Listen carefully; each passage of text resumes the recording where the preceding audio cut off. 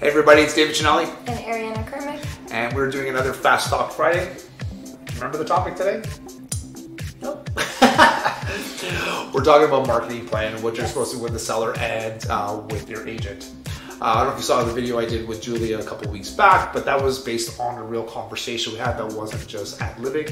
Uh, the reason why they came about was that there's more than one occasion we've seen lately that the sellers have no idea what the realtor's doing for to advertise their property, right? Right. And even when we've done listing presentations, people ask, well, what are you going to do? What do you actually do besides listing it on MLS? What is marketing our property mean? Yeah, and I love that because we do a lot of marketing on the other side. You know, we're on, as you know, social media.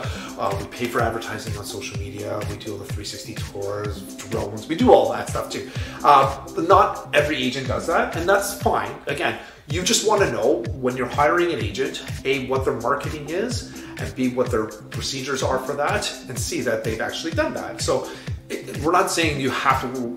Everything we do, you know, we like doing that for us. I think it's great for my clients, but not every agent does that. Some agents have their own marketing ways they do stuff. Some just do print marketing still, which is fine for certain demographics. Great, you know what I mean? But the whole idea is you want to manage expectations and your conversation with the other side. So making sure you're both on the same page. Yeah, and ideally your realtor should have given you some type of listing presentation so you should know what to expect when you hire them on. Yeah. You never want a realtor like us asking a question like when your house is not selling and said, Great, what do you do for marketing? And your answer is, I don't know. yeah. Yeah, that's that's that's not good. that's not good. So before you hire a realtor, find out what the marketing plan is. I don't not even not even a realtor. Like God, you're selling anything.